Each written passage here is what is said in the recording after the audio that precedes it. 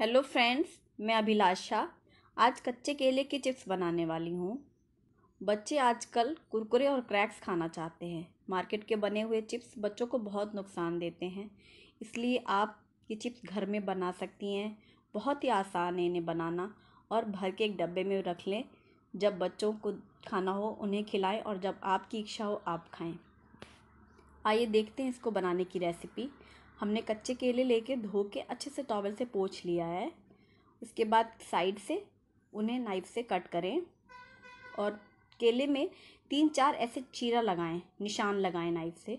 लेकिन केले को टच ना हो, सिर्फ़ छिलके पे निशान लगाना है आपको, फिर हाथों से ऐसे छिलका उतार लें, आसानी से उतर जाता है।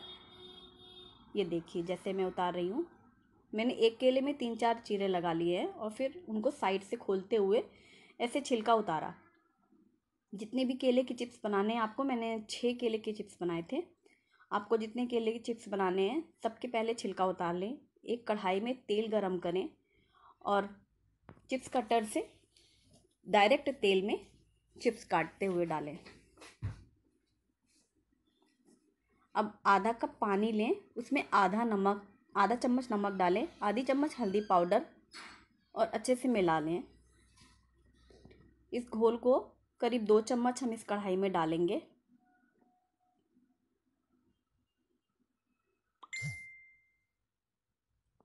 और जब ये पानी डालें तो अभी आप कलछी ना चलाएँ और थोड़ा दूर हो जाएँ, क्योंकि तेल में पानी डाला है तो तेल छटकता है और इसमें एक झाग आएगी।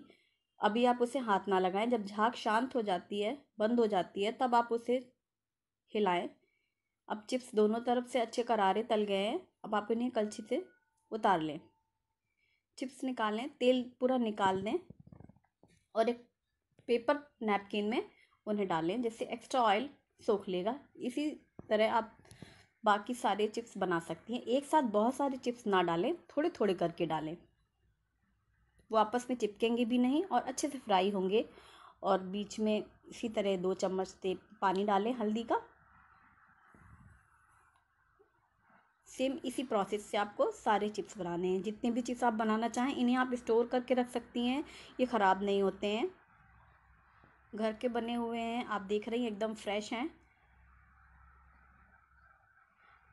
जब आपके सारे चिप्स बन जाए, अब आप एक बाउल में आधा चम्मच चाट मसाला लें, आधा चम्मच नमक लें, आधी मिर्च, चम्मच लाल मिर्च पाउडर, सबको अच्छे से मिक्स करें और बहुत ही अच्छा टेस्ट आता है अगर आप उसमें आधा चम्मच पीसी हुई शक्कर डालें।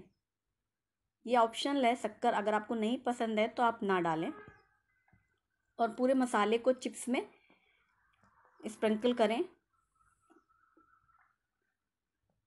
हाथों से अच्छे तरीके से मिला लें ताकि सारे चिप्स में मसाला अच्छे से पहुँच जाए।